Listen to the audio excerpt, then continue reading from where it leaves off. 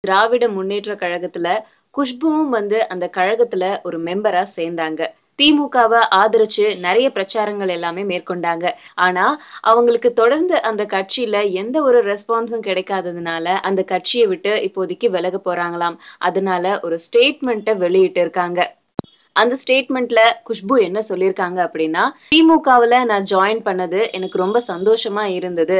உங்க வீட்டு பொண்ணு மாதிரியே என்னை வழி நடத்துனீங்க. இருந்தாலும் இந்த கட்சிக்காக என்னுடைய பணிகள் எல்லாத்தையுமே நூறு சதவிகிதம் நான் செஞ்சேன். இருந்தாலும் அந்த பணிகள் அர்ப்பணிப்புகள் எல்லாமே ஒரு வழியாவே இருக்கிறதுனால மன கஷ்டத்தோட இந்த கட்சியை விட்டு நான் விலகுறேன் அப்படின்னு சொல்லியிருக்காங்க சோ இது மூலமா நமக்கு தெரியற விஷயம் என்ன அப்படின்னா திமுகவுல இருந்து குஷ்பு விலகிட்டாங்க அப்படிங்கிறது தான்